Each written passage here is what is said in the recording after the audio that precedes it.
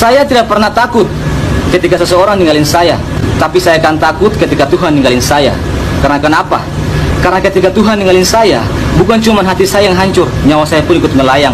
Dan satu lagi, jangan pernah merasa tersakiti ketika seseorang ninggalin kamu. Ingat, Tuhan tidak buta. Barang murahan akan diganti dengan barang mahal.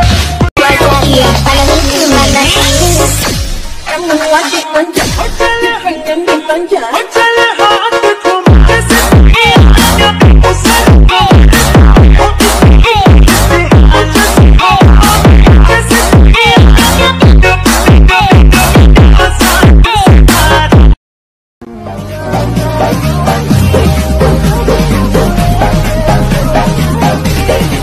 没有了你